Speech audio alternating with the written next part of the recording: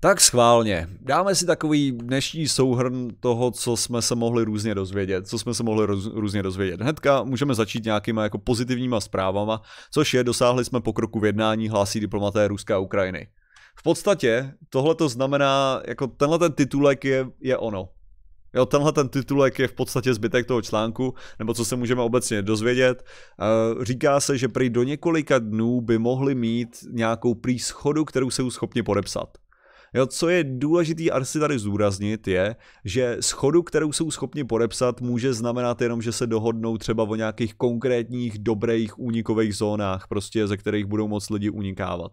Neznamená to, že se dohodnou prostě na nějakém konceptu míru nebo něčeho takového, že prostě se schodí, eh, že se složí zbraně, nebo že cokoliv, Prostě mohli se jenom dohodnout fakt jako na to, nebo na tom, že o, jaký, nějaký ty koridory, kterými budou unikat další civilisti a tak dále. Jo, jakože tady, tady v tomto případě oni o tom mluví tak vágně, že nejsme schopní říct. No, takže skutečně prohlásili to, že, mo- že dostávají se blíž a blíž, že prostě, že ruská strana začíná dělat, jako chápe víc situaci, to je další věc, že ruská strana víc chápe situaci, že v podstatě ukrajinská strana nedělá nějaký extrémní ústupky, ale otázka je, co to znamená, o čem přesně se baví, o čem přesně jsou byli schopni dohodnout, za kolik dní to bude. V podstatě nic nevíme, jenom obě strany jsou teďka jako super nadšený, že evidentně se něčeho dosáhlo. Čeho konkrétně, fakt jako nemáme tušení, takže můžeme doufat. Můžeme doufat, uh, jinak, co ještě tady bylo oznámené, jen sankce, že to vyplejtvalo polovinu rezerv, uh, což je docela zábavný, protože snad třetina těch rezerv je zároveň zablokovaná zahraničníma bankama, což znamená, že jestli to vyplejtvalo polovinu rezerv, tak z největší pravděpodobností už je to v hajzlu. Což mimochodem, já bych možná mohl vysvětlit i ty rezervy, proč je to tak důležitý. Ty rezervy měly právě sloužit k tomu, aby stáli proti té devalvaci toho těch vlastně rublů. Jo, protože tady jde o to, že když přijdou sankce, tak to znamená, že, že najednou není zá, zájem o ten ruský rubl a musí se použít k nakupování prostě dolary nebo něco takového. Takže oni prostě hordili veškeré tyhle ty rezervy těch dolarů a všech různých nějakých jiných, jiných měn, za který by mohli nakupovat zahraniční věci, protože by věděli, že prostě za rubly nikdo nic nebude chtít prodat, protože budou vědět, že prostě rubl půjde do prdele. Takže tak, aby právě k tomuhle tomu nedošlo, tak hordili tyhle ty prachy, ale zároveň a to je, ta, to je ta věc, kvůli tomu, aby ten rubl nešel tolik do prdele, tak oni museli vytvořit jakoby umělou poptávku. Jo, vlastně jako nakoupit, nakoupit ten rubl sami a tím, protože nikdo, všichni se chtějí zbavit rublu, všichni se chtějí zbavit rublu, takže to znamená, že, že cena toho rublu jde dolů, takže oni vlastně skupují ten rubl do nějaký míry aby ta cena byla jako stabilizovaná tím letím. Takže to je prostě jako další způsob, jak stabilizovat, stabilizovat tu cenu toho, plus další věci, které se dělaly, tak byly, byly vlastně ty uh, úrokové sazby a tak dále, ale jak vidíte, tak to fakt jako extrémně pomáhá. Jo, extrémně, extrémně to pomáhá, totálně rubl je krásně stabilní, všechno je v pořádku. Jo, takže to je, to je jako ty, ty způsoby, jak, jak, se, jak se to kupuje, jak se, jak se to udržuje, jo. Takže až se otevře moskevská burza, až se otevře moskevská burza, tak věci budou zábavný, jo. Věci budou zábavnější než kdy dříve. Takže to je ještě to. Nepočítají se polovina toho, co je zmražený. A polovina toho, co je zmražený, ale já nevím, jak to počítají, protože další, další věc je, že tohle je, co tvrdí Rusko. Jo, to je ta věc, kterou tvrdí Rusko. Jo, takže, takže v tomhle případě to klidně může znamenat, uh, v tomhle případě to klidně může znamenat všechno absolutně už je v prdeli.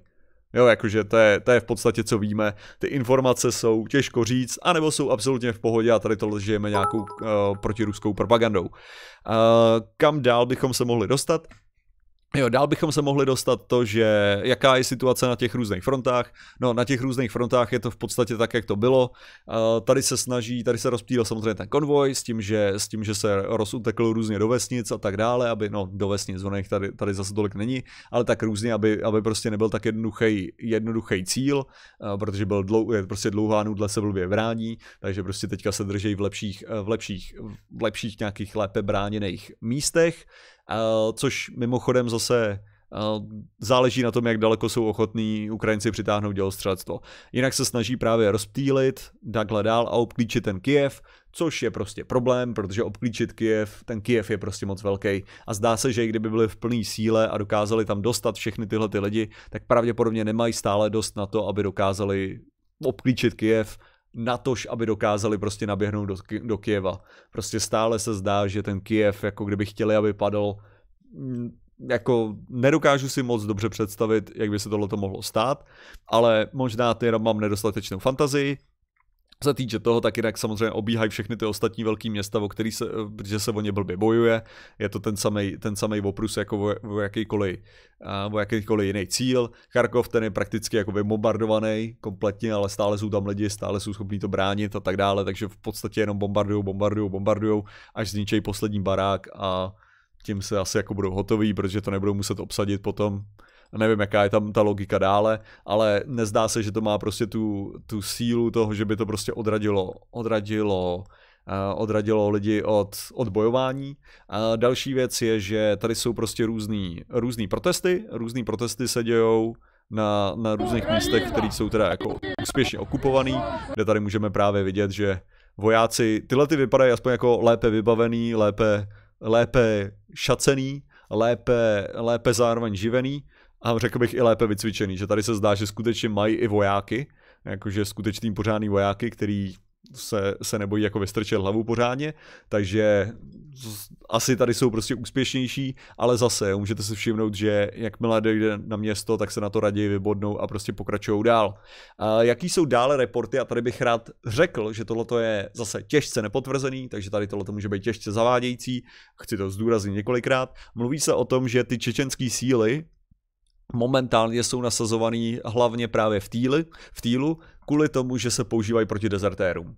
Že se používají na to, aby se potlačovala dezerce, protože ruský voják nechce zastavit, nazvěme to zastavit, tolik jiného ruského vojáka, a kdežto čečenský voják je ochotnější případně, případně i stří, zastřelit ruského vojáka. Takže to je, to je věc, o který se teda, jaká momentálně koluje i mezi prý ruskými vojáky jakože se tohle to říká. Takže v podstatě, jestli něco, i za předpokladu, že tohle není pravda, tak jestli něco, tak v tuhle chvíli to eh, rozsévá velkou nedůvěru mezi tyhle ty dvě složky. Jo, takže i kdyby to totálně nebyla pravda, tak Čečenci a ruští vojáci se držejí dál od sebe nebo jako ruší vojáci se snaží jako ne, nekamarádit moc jako s Čečencema, protože naopak jsou jako extrémně paranoidní ohledně nich, takže to vám ještě jako pomáhá perfektně morálce. No, takže i když za předpoklad, že tohle není pravda, tak je to prý jako věc, která se šíří mezi ruskými vojáky, že o tom si povídají. Takže, což samo o sobě je prostě jako pěkně blbý pro morálku. A další věc, co byla slíbena, co byla slíbena, tak je, že v, ze Sýrie Assad slíbil uh, teďka nevím, snad k deseti tisícům, a to je zase jedna z takových těch věcí, co někde byla vypálena, co to Assad slíbil prej nějakých deset tisíc jejich toho nejlepších, nejúžasnějších vojáků, který tam budou poslaný, přičemž by měly být posílaný dobrovolně, že by to měly být dobrovolný ty, přičemž uh, bylo slíbeno jich asi tři tisíce dolarů za měsíc služby. Jo, že bylo jako o to, což ne, to se nestane. A nejlepší, já se nedokážu představit, když mají teďka přijít ještě ta větší zima, že předpověď počasí, předpověď počasí hlásí, eh, že bude docela kosa, tak si nedokážu pořádně představit uh, syrijský vojáky, který jako v této, v tomhletom v této situaci. Myslím si, že by byli docela, docela překvapený. Myslím si, že by byli zásadně jako překvapený tomu, co by se dělo. A myslím si, že by to nebylo příjemný a jenom uh, jestli tam prostě budou poslaný nějaký, tak to bude taková jako symbolická záležitost. A asi, asi nebudou úplně jako to, asi nebudou úplně nadšený z toho, uh, z toho, co se tam bude dít. A další věc, o který se mluví, a další věc, o který se mluví, že Rusové použili fosforové bomby, uvedli Ukrajinci, tohle je Zase, tady máme prostě nějakou fotku a tak, já, já nerad právě zabíhám do těchto těch věcí ohledně válečných zločinů, z toho, z toho důvodu, že prostě zase, během války tyhle ty věci se strašně jednoduše strašně jednoduše se prostě můžou nějakým způsobem prezentovat nějak, může to být trochu jinak, je to prostě záludnost, je to takový složitější. Takže to, takže jenom jako řeknu, kdyby to tak bylo, No, to je prostě ta, ta důležitá věc. Prostě kdyby byly použitý tyhle ty zbraně, tak je to právě proti ženevské konvenci. Je to kvůli tomu, že na civilisty se rozhodně nemají, jako v civilních oblastech se rozhodně nemají používat. Docela se na tom radší, i když jde o použití na armádu. Jako nemá, nemělo by to být prostě použitý, tenhle ten typ zbraně.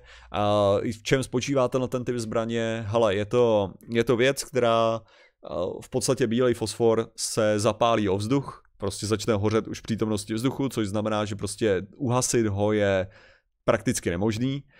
Zároveň, jakmile se vám dostane na kůži, tak to dělá příšerné věci, protože to hoří při teplotě prostě 2760 760 stupňů.